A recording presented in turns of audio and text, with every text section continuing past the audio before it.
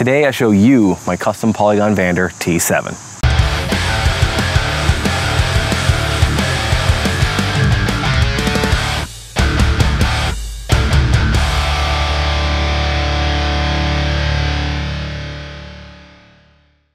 What is up guys, welcome back to another video. My name is John, and if you're new here, consider subscribing and hitting that bell to get instant notifications when I upload new content. Today I show you my custom Polygon Vander T7. I got this bike about six months ago, and uh, I've been really, really, really happy with it. It's fantastic for the money. You know, this bike cost me 1600 bucks, and I probably put well more than that into it. So it should probably, uh, you know, perform as good as it does for how, how much I put into this bike. But let's start off with the frame itself. It is a medium 27.5 frame, full suspension, obviously, and it's uh, really light. It weighs, I think from the factory, it weighs about 30 pounds. Don't quote me on that, but I'm pretty sure it's about what it weighs, 30 or 32. Um, I'm not sure what it weighs now. I haven't weighed it with everything that I did to it, but I imagine it either weighs that or a little less, but I'm really not worried about weight.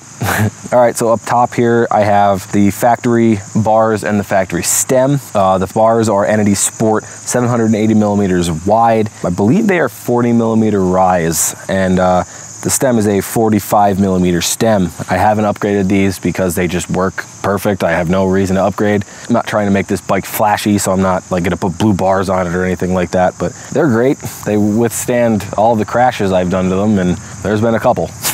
Uh, the grips, they are ODI. I uh, got these custom made, so the grips are red with blue lock rings and the just regular ODI end caps. So the steer tube for the fork is a little bit past the uh, stem there. It's about, oh, 10, about 20 millimeters past. It looks real doofy, but it allows me to actually pick this whole stem up or put it down more if I had to.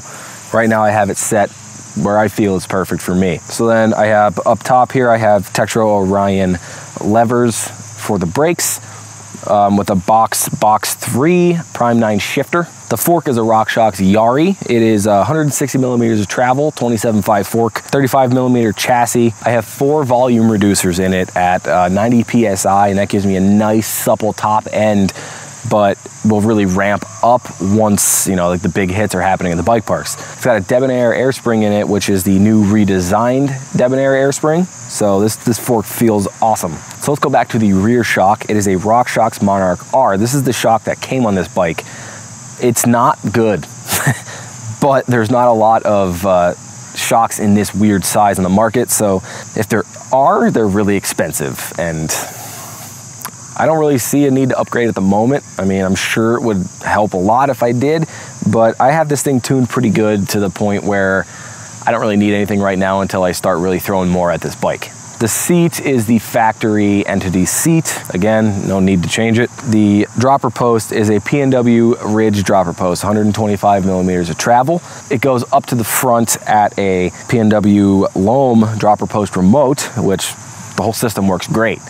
Uh, I really wish I would have went with probably like 150 millimeters of travel on the uh, the dropper post because I feel like if I did that, I could probably put the whole post itself down into the seat tube a lot more to have more clearance for the seat. I'm dropping my post all the way down to the frame uh, when I go to the bike park so I have maximum clearance. I don't need a dropper post at the bike park. So could have probably got more travel and been happier with it, but it is what it is. So onto the drivetrain, it's a SRAM NX Eagle crankset with a SRAM oval chainring on it as well. Back to a Box Prime 9 extra wide group set. The derailleur is also a Box 3.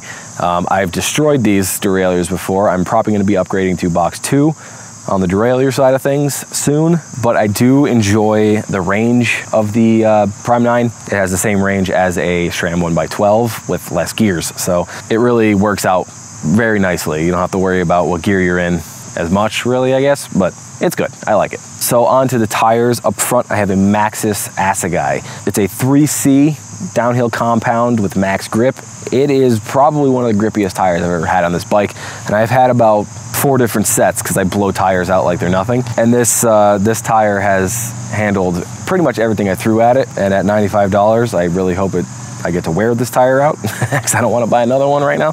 But yeah, it's uh, it's a really good tire. It's super soft And the rear tire is a WTB Judge. It's a downhill casing as well. Pretty much this tire is a Maxxis DHR. It's, it's almost identical. They're both 27.5, obviously. So onto the wheels. They are a Stans No Tubes Flow S1 wheel set with Neo hubs. The rear hub sounds awesome. I really wish it was louder, but uh, it's it's like a nice volume. It just it's got uh, what does this have? 100 and, 102 points of engagement, I believe. I have the upgraded driver on it. They do uh, spin very fast. They're a lot faster than the WTB wheels that came on this bike. So for the brakes, they are Tektro Orion E23s. They are four piston calipers. In the front, I have a 203 millimeter rotor, and in the rear, I have 180 millimeters. And then for the pedals, they're just some Bontrager orange pedals that I had lying around. Um, I have a pair of black Fookers that are actually better than these, but I just haven't found the time to put them on.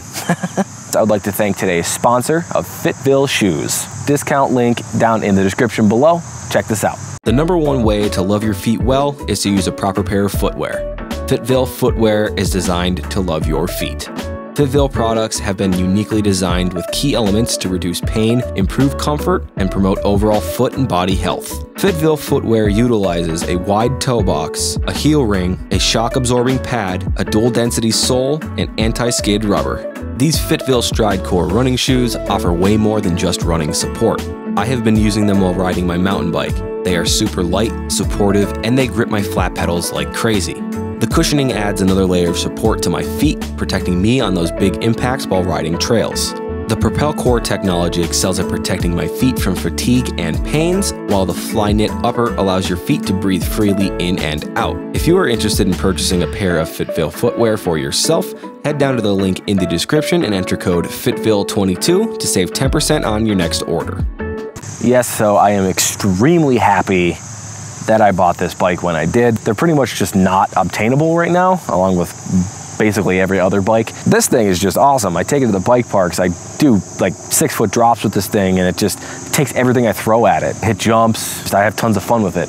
And I haven't broke the bike yet. I mean, I broke my derailleur, but that's a pretty common thing to break. It's light, you know, it's very nimble. It, you get corner with this thing super fast and it's just, it's awesome. So that about does it for today's video. If you'd like to purchase anything on this bike, all the links will be down below in the description. They are Amazon affiliate links, so I may get a cut of the profits if you purchase using my link. All clickable links down below in the description. As always, thank you so much for watching, and I'll see you next time.